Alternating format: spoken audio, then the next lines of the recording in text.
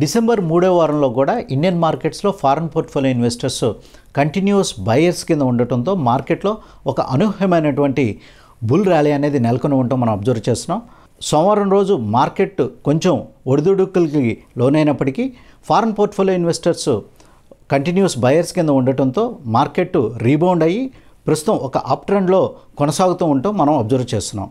Two thousand twenty అనేది stock market హిస్టరీలోనే ఒక సిగ్నిఫికెంట్ ఇయర్ కింద నమోదు అవడానికి అవకాశాలు ఎక్కువగా ఉన్నాయి. ఎందుకంటే మనందరికీ తెలుసు కోవిడ్ నైన్టీన్ నేపథ్యంలో త్రూఅవుట్ గ్లోబల్ ఎకానమీ అనేది లాక్డౌన్లోకి వెళ్ళటం ఇండియన్ ఎకానమీ కూడా కంప్లీట్ లాక్డౌన్లోకి వెళ్ళటంతో మార్చి నెలలో మరియు ఫిబ్రవరి టూ థౌజండ్ ట్వంటీలో foreign portfolio investors nearly sixty eight thousand crores దాకా ఈ రెండు మంత్లోనే మార్కెట్లో నుంచి విత్డ్రా చేయడం జరిగింది. అందువల్ల మార్కెట్స్ అనూహ్యంగా మార్కెట్లో ఒక క్రాష్ అనేది మనం అబ్జర్వ్ చేసాం.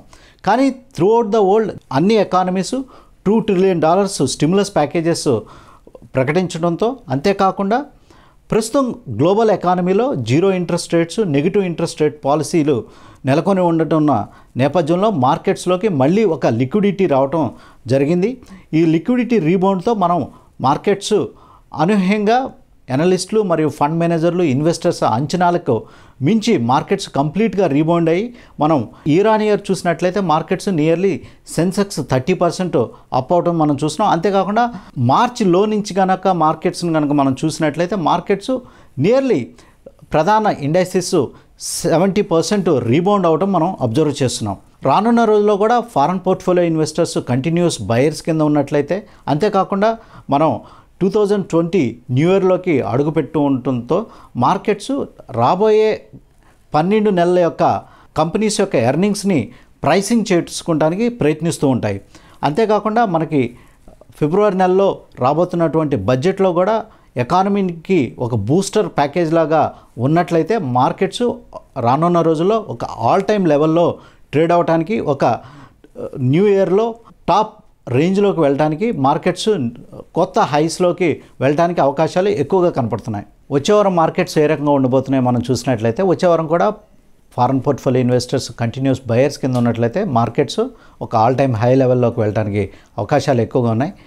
గత సోమవారం లాంటి డిప్స్ కనుక మార్కెట్లో వచ్చినట్లయితే అటువంటి డిప్స్ని ఇన్వెస్టర్స్ మళ్ళీ మార్కెట్లో రీఎంటర్ అవడానికి అవకాశం కింద చూడండి. ఏ అయితే షార్ప్ డిప్స్ వస్తున్నాయో ఆ డిప్స్లో కనుక స్టాక్స్ని బై చేసినట్లయితే మళ్ళీ మార్కెట్ రీబౌండ్ అయినప్పుడు మంచి రిటర్న్స్ రావడానికి అవకాశాలు ఎక్కువగా ఉంటాయి.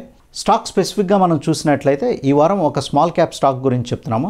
భారత్ సీడ్స్ అనేది ఇది మారుతి సుజుకి యొక్క అసోసియేట్ గ్రూప్ కంపెనీ కింద ఉండటం జరిగింది. ఈ Bharat సీడ్స్లో nearly twenty eight percent Maruti మరియు సుజుకి యొక్క షేర్ హోల్డింగ్ ఉంది. అంతేకాకుండా ప్రమోటర్ గ్రూప్ అనేది రానే గ్రూప్ హోల్డింగ్ అనేది దీంట్లో ఉండటం జరిగింది.